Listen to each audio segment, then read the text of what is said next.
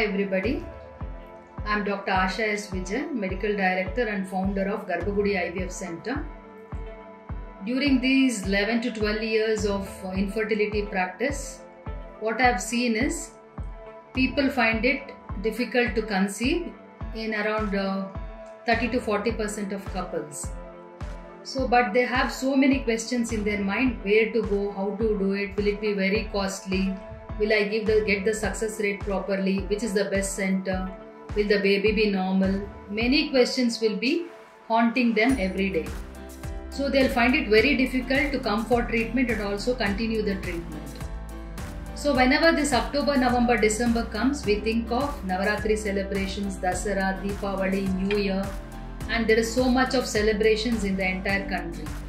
So in Garbhagudi, we have to we want to extend this celebrations onto our infertile couples also in the form of Paripoorna. This Paripoorna 2021 will help lot of couples conceive with lot of ease, less of financial burden.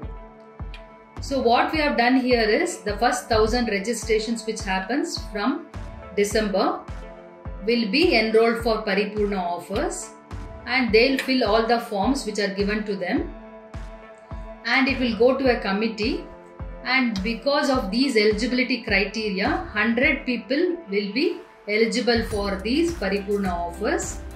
This paripoorna 2021 is only for ivf treatment. So these 100 couples will be offered variety of discounts depending on their eligibility criteria and they can go ahead in completing their families with ease and confidence.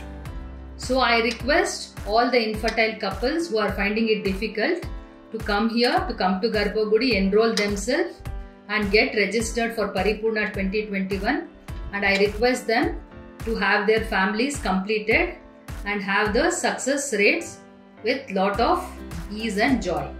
Thank you so much.